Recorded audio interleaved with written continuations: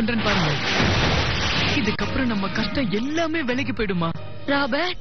அம்மா. என் பையன் ஒரு திருடன்னு யாரும் சொல்லிடக்கூடாது. அதனால ஆபத்து எனக்குதான். ஹே ஒரு நிமிஷம். நான் என்ன பண்றேன் நீ பண்றது எதுவும் சரியில்லை. ரொம்ப தப்பு. பின்பக்கம் நீங்க பாத்துக்கோங்க. முன்னாடி நான் பாத்துக்கிறேன். நோ.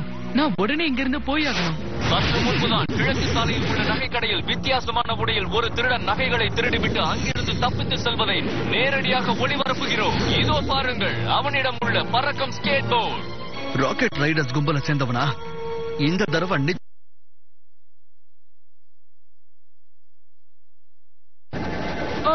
என் கிட்ட வராத விலகி போ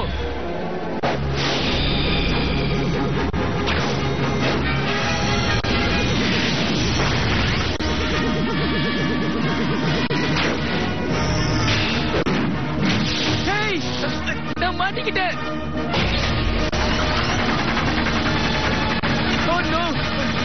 காப்பாத்துங்க ஹோட்டல் எக்ஸல்சியாரின் கட்டுமான பணி நடக்கும் இடத்தில் இந்த விறுவிறுப்பான நிகழ்ச்சி ஒரு முடிவுக்கு வரப்போகிறது.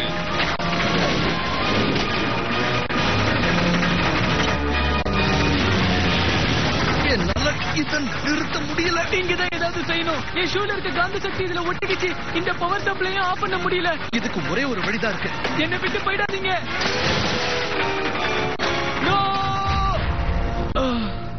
நேரடி ஒளிபரப்பு தொடர்கிறது.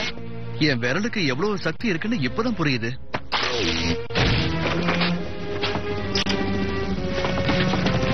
வழி விடுங்க என்ன? இந்த Dress? இந்த மெட்டீரியல் அது ராபர்ட் தான்! ஹேய் ஏவுக்கு நீ கீழே போடு. உனக்கு பட்டும் புத்தி வரலையா? அவன் எதை பத்தியும் கவலைப்படுற மாதிரி தெரியல.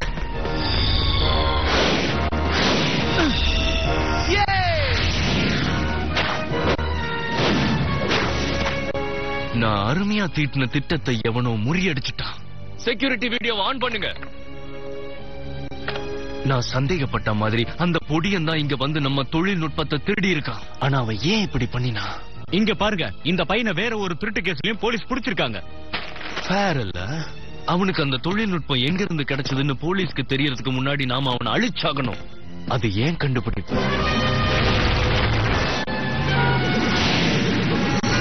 பையன் வேகமா தான் இருக்கான். இருந்தாலும் ஸ்பைடர் ட்ரேசர்ல இருந்து தப்பிக்க முடியாது.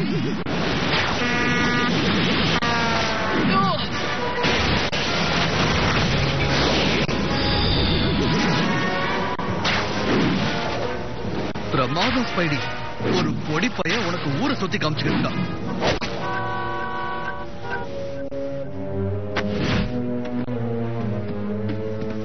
ஓ மோசமான இரவு. ஓ. இந்த ஊருக்கு புதுசா வந்திருக்கிற திருடன் நீதானா? ஸ்பைடர்மேன் என்னை எப்படி கண்டுபிடிச்சீங்க? நீங்க இந்த குப்பமேட்ல விழுந்ததை நான் பார்த்தனே. இந்த கருவி தான் காட்டி கொடுத்துச்சு. ஆனா நீ ஏன் நகை கடைக்கு திருட போன?